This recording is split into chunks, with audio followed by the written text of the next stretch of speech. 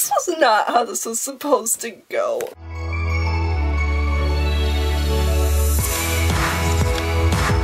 Okay. So I came into my is this even in focus? So I had to do a voiceover for this video, right? And so I came into my grandparents' camper because it was gonna be like a quiet, nice place. I'm like, it's perfect. Whatever. Um I brought my dog with me.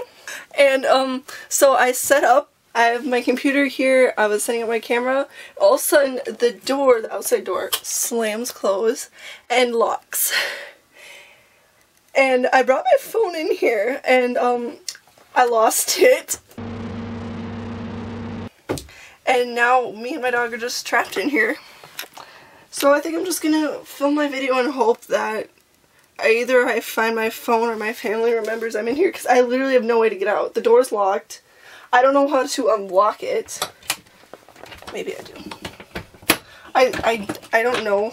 Like simple stuff like this, I just don't understand. Yes, I'm sorry. I'm really sorry. I'm sorry. Why do you have to look at me like that? It's not like you make mistakes. At least I don't chew up the carpet. Alright, now that we have all my issues worked out, um, we can continue on with the video. So, me and my sister decided to give my dog a photo shoot, and we kind of got inspired off of those milk photo shoots, like in the bathtub, except I wasn't going to put my dog in milk water. Like, just no. Anyway, so we found this tub and we're cleaning it. So it looks dirtier than it is. That's just because it's full of dried cement. But I promise it's perfectly clean. My dog was not a fan of this process at all.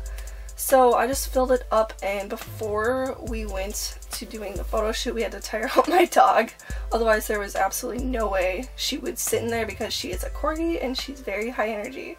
So I picked some dandelions, some leaves, and we prepped it, made sure my dog was okay with it. As you can see, she's fine.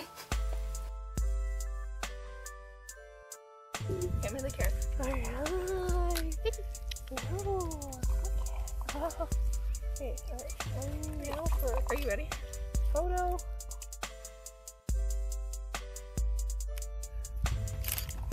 Good.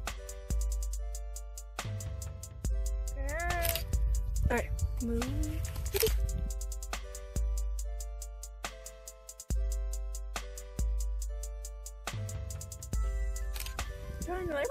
Oh, okay.